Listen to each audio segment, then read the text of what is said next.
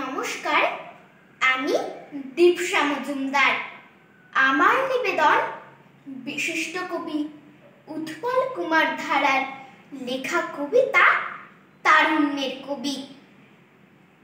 চুরুলিয়ার বাসভবনে সেই যে দামান ছেলে ছন্দ ছড়ার গান বেঁধে নেয় একটু সময় পেলে। তার গানেতেই ভোরের পাখি দেয় মিলিয়ে ডানা হয় জানি সব। আহ্লাদে আটখানা।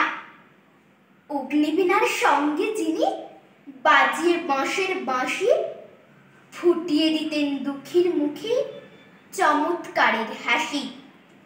গুল বাগিচার ফুল বাগানে ফুটিয়ে ফুলের কুঁড়ি স্বপ্ন চোখে উড়িয়ে দিতে মুক্ত মাতাল ঘুড়ি।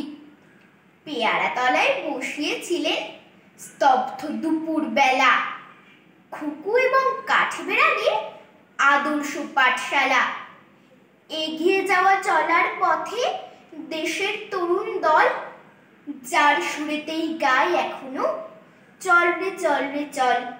হাওয়া ঢেউয়ে যার কথা ঠিক, শুনতে আজও পাই মুসলিম আর হিন্দু মোরা দুই সহোদর ভাই। বন্যা যখন দাপিয়ে আসে দেশে জল আর পানি একসাথে ঠিক, এক সাগরেই মেশে। সেই যে কবির কণ্ঠে ছিল সাম্যবাদের সুর, জাতির নামে বজ্জাতে সব যাক হয়ে যাক দূর। যাই ভেঙে যার কাব্য কথায় সকল মনের ভুল, শ্রদ্ধা জানাই সেই কবি যে বিদ্রোহী নজরুল। নমস্কার।